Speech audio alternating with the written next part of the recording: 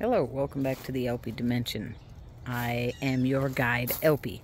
Um, over a month ago, I did, ooh, yeah, it was probably a couple months ago now.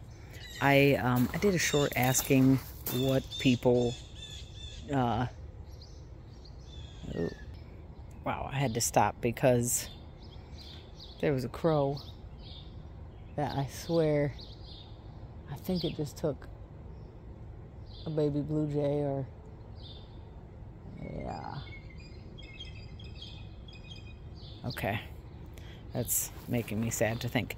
Anyways uh, so I did the short about garlic scapes. Yeah there was two crows in a tree. There was one and then another one came. And the blue jays were also making that beautiful sort of chime sound, whistle. It's it's really pretty. Um, and then one of the crows left, and the other one started making a completely different call.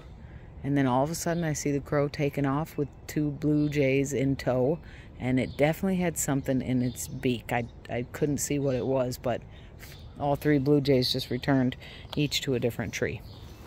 Anyways, for any of you who are interested in birds, that might be fun. For the rest of you, that was an annoying side story. But, um, so in my short, I, uh, I mentioned, you know, I was talking about garlic scapes and how I had heard um, it was on Garden Like a Viking. Um, he said that he's not so sure that um, cutting your garlic scapes really makes a difference. And um, so I'm kind of curious. It makes sense to me that it does, that cutting the scape, um, it does make sense that that tells the plant to, hey, don't worry about producing a flower. Just go ahead and um, work on that bulb, right? But I'm I'm gonna let I've got enough garlic. I'm gonna let some of them go.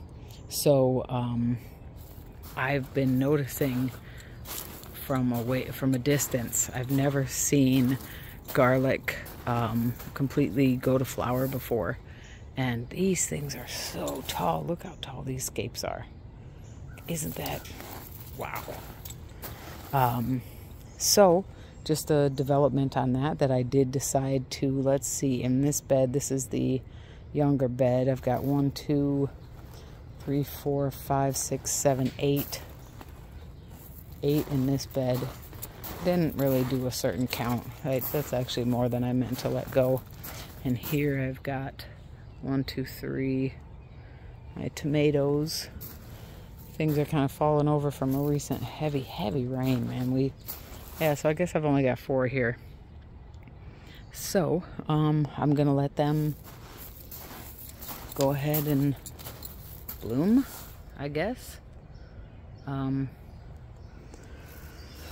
and look at the borage is blooming. Yay! These plants get big. Uh, what else? So I had the moderator Jay Dixon in the Urban Gardener. Um, I was asking about um, rot in um, the scapes. And let's see. It kind of looks like what I see here on this one. Except it was farther down and it winds up the scape would wind up sort of collapsing in on itself. And I cut those and discarded them.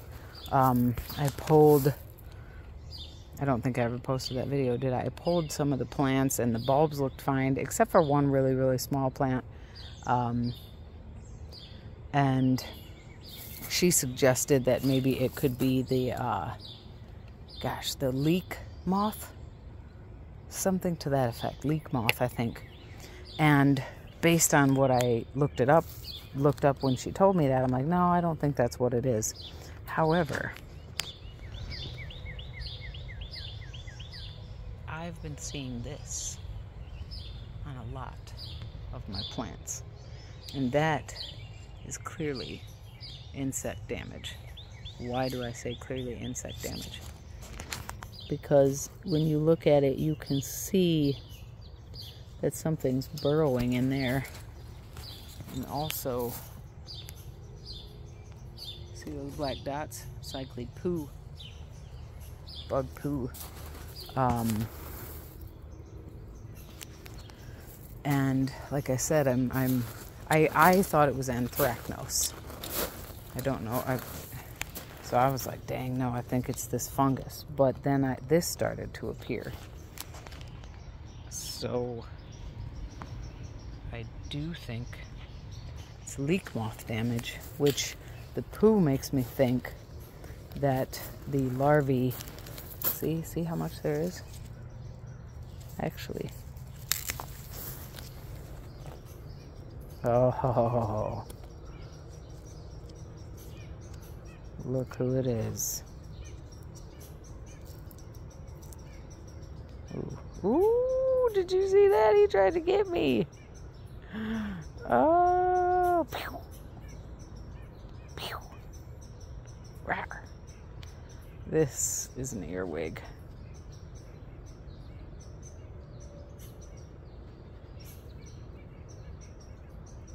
So, the poo is earwigs. I have an insane amount of earwigs around my property this season. I've found just lift the garage door and I have tons of earwigs come out. So,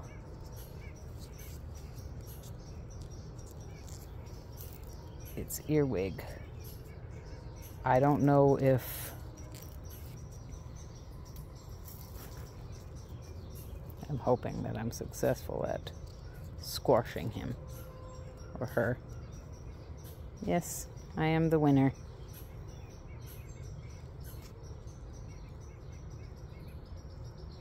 So it could still be the case. I mean, the damage I saw on the scapes really did look like anthracnose. It could still be the case. Uh,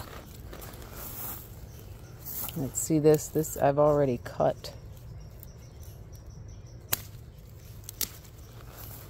This scape. I had already broken this one off. And that's what I was seeing. But, um, and wow, that was really, that was really hard. Way harder than, okay, this is the one I actually wanted to show you. See, this is a scape that I've already broken off that is super woody.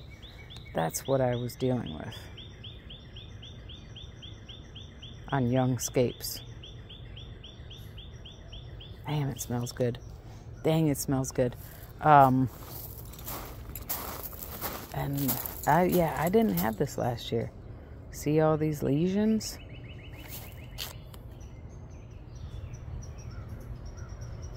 So it could be anthracnose but it could also be the leek moth because the leek moth I think res can result in this damage. I'm going to have to do more research. Um, and then the earwig is most likely coming in after the moth and going ahead and oh there's escape I didn't mean to leave so that's an update on the garlic that I'm having some serious issues because wow more tons of plants have it. And uh, when I looked up the anthracnose, also I noticed that it, it, it, seemed like it was a newer, as in the last 10 years, development in um, states that garlic was getting anthracnose. So one of the biggest bummers is one, anthracnose I don't know if if this allium anthracnose or whatever can only spread to garlic, but I know that anthracnose in general refers to a type of disease that other plants do get. Um, so, can I plant? The question going forward is is this anthracnose or is this the um, leek moth? Uh, like Jay Dixon suggested, and um, what can I do? Here we go. Yeah, you can't, you didn't see it, but maybe you did. There was an earwig. Or, I mean, is this just earwigs? What do I do going forward? Can I plant garlic in this bed again? Because this is, you know, I have a sun problem, as in the sun. Uh, not problem, but I don't get like a ton of light back here.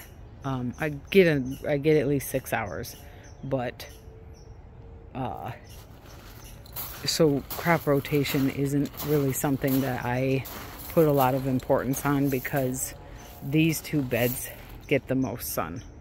Um, these two in front. That's A, this is B. I've grown tomatoes back there before with some success. Depends on the tomato, but I know they'll be more prolific in the other beds.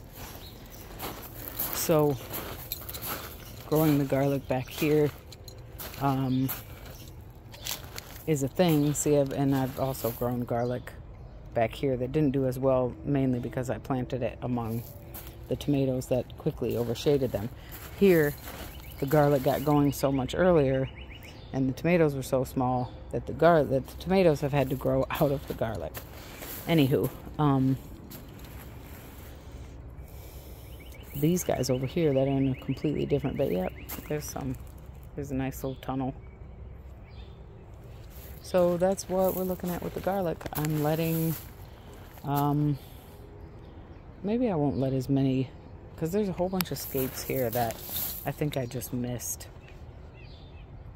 Because I've got at least nine now. I think nine scapes in this bed that I'm letting go, and I don't think I want to do that. But uh, go ahead and weigh in in the comments what you what you think. Like I said, I it makes sense to me that this would affect the garlic bulb. Um, like I said, these are probably, these are not edible unless maybe up here.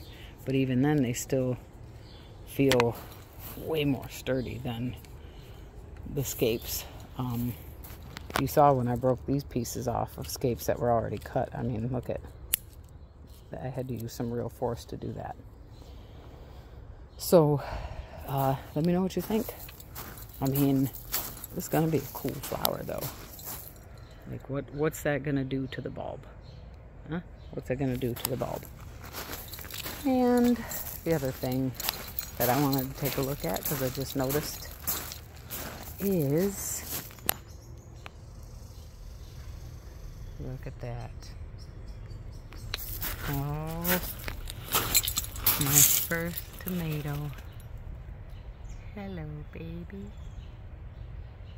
That is a green zebra. So, a little bit longer of a video than I intended, but let me know what you think. There's an update on my garlic. Um, oh, wow. Sorry. There's an update on my garlic. And how far am I from pulling? I see we've got one, two, about three sets, three leaves, not sets, three leaves. Um, have died. And I want to, this, this one here, I want to at least wait until that one's dead before I pull them. Um, I have it. I didn't actually. The I pulled some early and they looked good, and I was gonna eat them right away, and I didn't. But uh, we'll have. I've been curing those. So yeah, I, I probably will pull. I probably actually will pull a few others early, in large part for the sake of my tomatoes, mainly over here. This, yeah, I've got a lot of staking to do, but now we're talking about something else entirely. There's two red squirrels that are chasing each other. Those are nasty creatures. Just because they're, oh gosh. Anyways, all right. Thank you so much. Weigh in on the comments what you think or what you know leaving the bulbs. I mean, well, and that's the thing. Do I, do I let them flower? Do I pull them before they flower?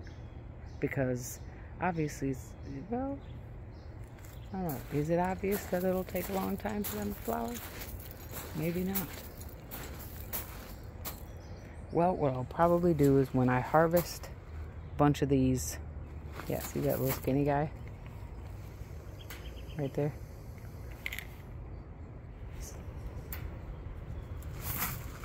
This, that one. I'll probably go ahead and pull that one, but not not right now. Um, when I pull a bunch of the garlic, harvest it, I will, uh, I'll pull at least one that is that escape that I've allowed to develop more and see see what's it's starting to do. Um, but I suspect the creatures love the flowers. I know they like onion flowers. Anywho, bye for now. I appreciate your time. And uh, I would love to hear your thoughts, guesses, you know, what you know, knowledge. Ed, let me know. This is, and this is, this is like five different types of hardneck garlic. All right. Take care. Stay well. Stay safe. Bye for now.